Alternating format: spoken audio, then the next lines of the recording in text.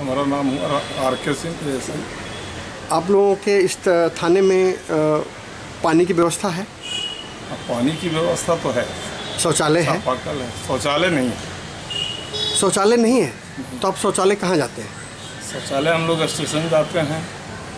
यहाँ जो रोड पर जो बना हुआ है शौचालय उसी में जाते हैं। आपने अपने विभागीय जो अध्यक्ष हैं या विभागीय जो वरीय पदाधिकारी हैं क्या आपने उनसे कहा है इन बातों को कि हमारे आरक्षी को या आप ऑफिसर हैं कि आपको ये दिक्कत है?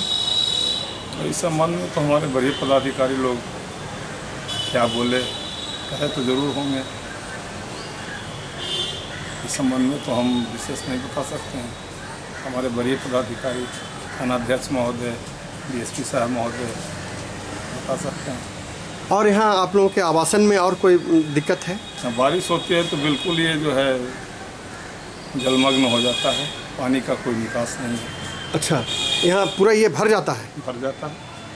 अच्छा और मुझे लगता है ये काफ़ी पहले से ही भरा रहता था ये एरिया। तो अभी ये ऊँचा भी नहीं किया गया है? जी नहीं नहीं ऐसा नहीं किया गया। तो फिर बरसात के दिनों में आप लोग कहाँ रहते हैं? कठिनाई होती है उसी में।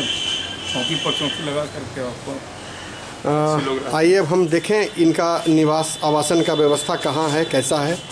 ये देखिए जहाँ ये रहते हैं। अ, नगर यातायात के आरक्षी और खाना इनका बनाने का व्यवस्था भी शायद इसी चौकी पे ही है। आप देख सकते हैं गैस सिलेंडर सब्ज़ी कटा हुआ।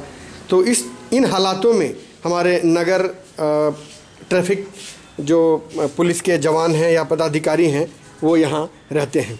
बरसात के दिनों में ये पूरा भर जाता है? हाँ पानी पूरा भरा रहता है।